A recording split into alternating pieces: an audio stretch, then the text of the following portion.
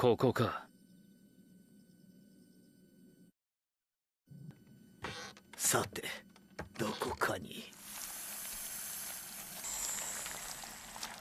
あったわ。なんか気味が悪いね。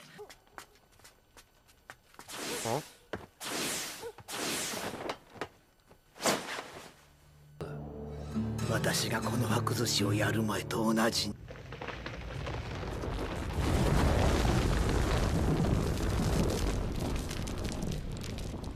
内派の中の神社は跡形もないのね。なら始めるわよ。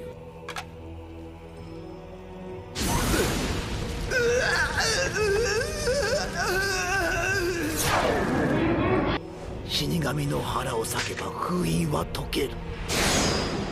ただ私が人柱になる必要はあるけどね。これで死神の中にあった私。戻ったわ。江戸転生ができる。15サスケ水月準備なさい。分かった。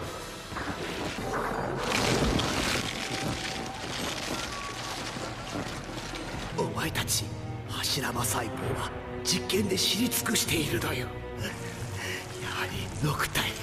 トビは随分慎重を期していたようね私は4人の個人情報物質を持っている。私も蓄積が好きでね。江戸転生の術。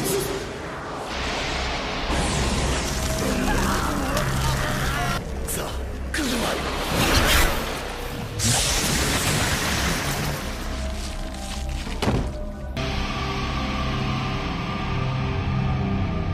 仙台のほかげたちが。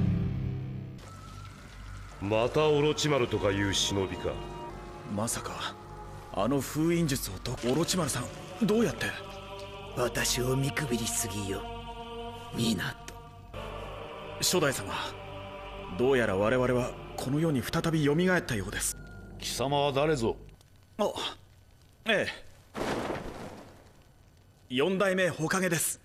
ほう四代目とだして五代目は誰ぞ？お孫様の綱手姫ですよ。今里は大丈夫ぞ。な何か心配で。俺の掛け事まで覚えてそれをも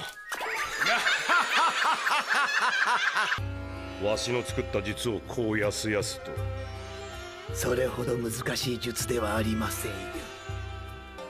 わしはこの若造と話している。しかしだの。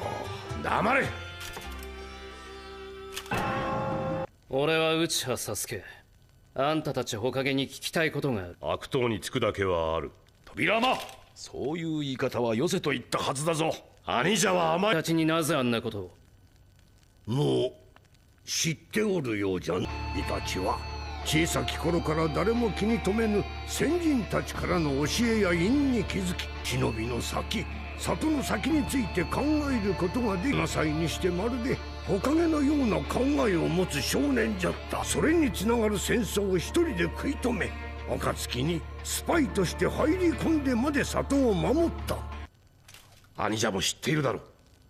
奴ら内派は悪に疲れた一族だ。内派ほど愛情に深い一族はいない。だからこそ内派はそれを封印してきた。一旦内派一族の者が愛情を知ると今まで縛り付けてきた情の解放とでも言うのか内派の者が大きな愛の喪失や自分自身の失意にもがき苦しむ時脳内に特殊なチャクラが噴き出し視神経に反応して目に変化が現れる内輪の悪に疲れた小僧がここでわしが二代目様扉間